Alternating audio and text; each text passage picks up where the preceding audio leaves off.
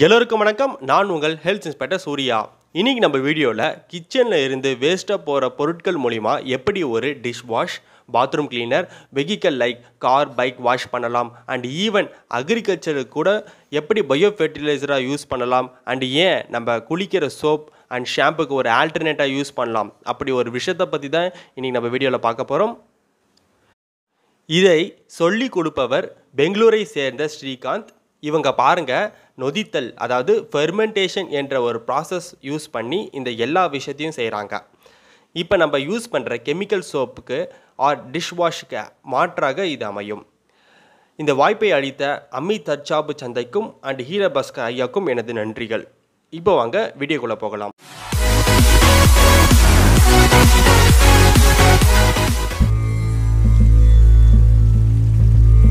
வணக்கம். நான் ஸ்ரீகாந்த். பெங்களூர்லேருந்து இன்றைக்கி நம்ம என்ன பார்க்க போகிறோன்னா பயோஎன்சைம் எப்படி செய்யலாம் அப்படி தான் நம்ம வந்து பார்க்க போகிறோம் பயோஎன்சைம் செய்கிறதுக்கு நம்மளுக்கு என்ன தேவைப்படுறதுன்னு பார்த்தீங்கன்னா முக்கியமாக ஒரு ஏர் டைட் பிளாஸ்டிக் டப்பா ஒரு பிளாஸ்டிக் கண்டெய்னர் அப்புறம் அதுக்குள்ளே போடுறதுக்கான தண்ணி தேவைப்படுறதுங்க. அப்புறம் வீட்லேயே கழிவு. இன்றைக்கி நாங்கள் வந்து சாத்துக்குடி சாப்பிட்ருக்கோம் ஸோ சாத்துக்குடி தோல் நம்ம வந்து யூஸ் பண்ணிகிட்டு இருக்கோம். அப்புறம் வந்து பார்த்திங்கன்னா நாட்டு சர்க்கரை. நாட்டு சர்க்கரை ஸோ முக்கியமான இன்க்ரீடியன்ஸ் என்னென்னு பார்த்தீங்கன்னா தண்ணி பழத்தோல் சாத்துக்குடி தோல் நாட்டு சர்க்கரை இதை வச்சு நம்ம வந்து பயோ என்சைம் தயாரிக்க போகிறோம் இப்போ பயோ என்சைம் என்னன்னு பார்த்தீங்கன்னா இது வந்து ஒரு மல்டி பர்பஸ் கிளீனருங்க இது வந்து ஹேர் வாஷ்லேருந்து கார் வாஷ் வரைக்கும் எல்லாமே வந்து க்ளீன் பண்ணலாம். பொதுவாக ஒரு சுத்தப்படுத்தி சுத்தமாக இருந்தால் தான் அதுக்கு வந்து சுத்தப்படுத்துகிற ஒரு தன்மை உண்டு. பழைய காலத்தில் நம்ம தாத்தா பாட்டி எல்லாம் வந்து ஏரியில் தான் போய் குளிச்சாங்க. அங்கே தான் துணி துவைச்சாங்க பாத்திரம் வழுக்கியிருக்காங்க சோப் எதுவுமே போடலங்க. வெறும் அலசிட்டு எடுத்துகிட்டு வந்தாங்க. கரை இருந்தால் கல்லுக்கு போட்டு தேய்ச்சாங்க. பாத்திரம் அழுக்காக இருந்துச்சுன்னா கொஞ்சம் மண் போட்டு தேய்ச்சாங்க. அவ்வளோதான் ஏன்னா தண்ணி வந்து சுத்தமாக இருந்துச்சுங்க. அதனால் அதை சுத்தப்படுத்தியாக யூஸ் பண்ணியிருக்காங்க. ஆனால் இன்றைக்கி நம்ம யூஸ் பண்ணுற சுத்தப்படுத்தி சுத்தமாக இருக்குன்னு சொல்ல முடியுமா வீட்டில் சொல்ல முடியாது இல்லைங்களா? அதனால நம்ம வந்து நேச்சுரலாகவே ரொம்ப ரொம்ப சிம்பிளாக நம்ம வந்து பயோ என்சைம் தயாரிக்க போகிறோம் இந்த பயோ என்சைம் தயாரிக்கிறதுக்கு நமக்கு வந்து தொண்ணூறு நாள் தேவைப்படுறதுங்க. இந்த தொண்ணூறு நாள் வந்து ரெண்டாக பிரிக்க போகிறோம் மொதல் முப்பது நாள் அடுத்த அறுபது நாள். மொதல் முப்பது நாள் ஒரு மாதிரி ஃபெர்மெண்டேஷனுங்க அடுத்த அறுபது நாள் இன்னொரு மாதிரி ஃபெர்மெண்டேஷன் ஓகே ஃபர்மெண்டேஷன் ப்ராசஸ்னால் என்ன? ஃபர்மெண்டேஷன் என்கிற நொதித்தல் ப்ராசஸ்னால் என்ன அப்படின்னு பார்த்தீங்கன்னா இப்போ பால் இருக்குங்க. பாலில் வந்து நம்ம தயிர் ஊற ஊற்றுறோம் ஊற்றின உடனே ஒரு எட்டு மணி நேரம் கழிச்சு அது வந்து தயிராக கட்டுது. அதில் என்ன இருக்குன்னா பாக்டீரியா இருக்குது பாக்டீரியானா கிருமிங்க. கிருமி இருக்கிறதுனால தான் அது வந்து தயிராக மாறுது. அதே மாதிரி நம்ம வந்து பயோ என்சைம் வந்து கிருமி வச்சு தான் கிருமி தான் வந்து நொ நொதிக்கிறது இல்லை. ஃபர்மெண்டேஷன் அப்படிங்கிற ப்ராசஸ் நடக்கிறது. இந்த கிருமி எங்கே இருக்குதுன்னு பார்த்தீங்கன்னா இந்த சாத்துக்குடி தூள் இருக்கு இல்லைங்களா? இதில் தான் கிருமி இருக்குங்க. ஸோ இந்த கிருமிக்கு வந்து உணவு தேவைப்படுறது. அந்த உணவு தான் சர்க்கரை. அதாவது நாட்டு சக்கரை. சக்கரைனா நம்ம மொழியில் வந்து நாட்டு சக்கரை தான். வெள்ளை சக்கரை மட்டும் பயன்படுத்தக்கூடாது. நாட்டு சக்கரை மட்டும் ப பயன்படுத்தணும்.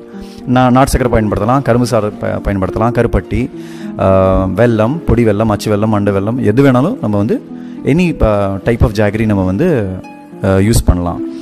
ஸோ முக்கியமாக நம்மளுக்கு வேண்டியது என்னென்னா ஒரு மூடி அகலமாக இருக்கிற ஒரு ஏர்டைட் கண்டெய்னர் ஏன்னா ஒரு குட்டி பிளாஸ்டிக் பாட்டில் செஞ்சேன்னு வச்சுக்கோங்களேன் இதை எடுத்து துண்டு துண்டாக வெட்டிட்டு அதுக்கப்புறம் அதுக்குள்ளே போ போடுற மாதிரி இருக்கும். அதே நம்ம வந்து இந்த பிளாஸ்டிக் டப்பாவில் நம்ம வந்து செஞ்சிட்டோன்னா இந்த மாதிரி ஒரு வைடான ஒரு அகலமான மூடி உள்ள பிளாஸ்டிக் டப்பானா இந்த கை ஈஸியாக உள்ளே போடுற மாதிரி இருக்கும். இந்த பொருள் எல்லாம் வந்து ஈஸியாக இதுக்குள்ளே போடுற மாதிரி இருக்கும். ஸோ இந்த ஃபர்மெண்டேஷன் அப்படிங்கிற ப்ராசஸ் வந்து தொண்ணூறு நாள் நடக்கிறதுங்க. இந்த தொண்ணூறு நாள் வந்து ரெண்டாக டிவைட் பண்ண போகிறோம் மொதல் முப்பது நாள் அடுத்த அறுபது நாள். மொதல் முப்பது நாள் என்ன ஆகுறதுனா ஒரு மாதிரி ஃபர்மெண்டேஷன் ப்ராசஸ் நடக்கிறது.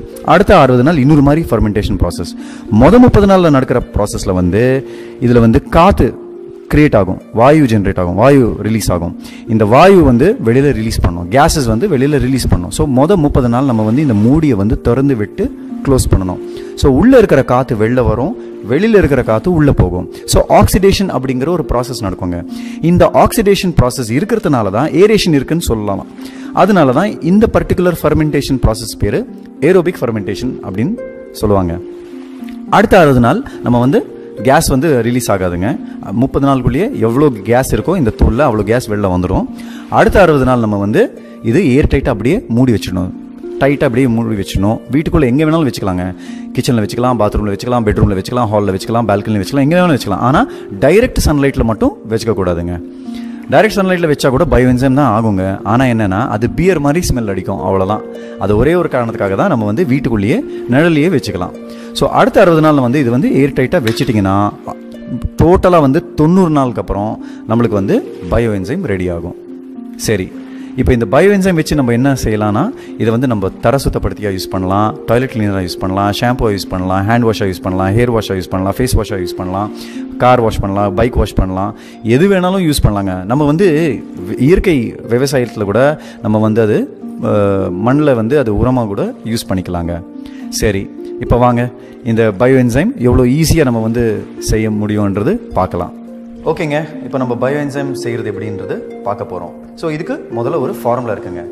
பதினஞ்சு இஸ்டு பத்து இஸ்டு மூணு இஸ்டு ஒன்று பதினஞ்சு கொள்ளளவு பாத்திரத்தில் நம்ம வந்து பத்து கொள்ளளவு தண்ணி ஊற்ற போகிறோம் மூணு கொள்ளளவு தோல் யூஸ் பண்ண போகிறோம் ஒரு கொள்ளளவு நாட்டு சர்க்கரை. அதாவது இந்த பாத்திரத்தில் பதினஞ்சு கப்பு தண்ணி பிடிக்கும் அப்படின்னா இதில் பத்து கப்பு தான் தண்ணி விட போகிறோம் மூணு கப்பு கழிவு ஒரு கப்பு நாட்டு சர்க்கரை.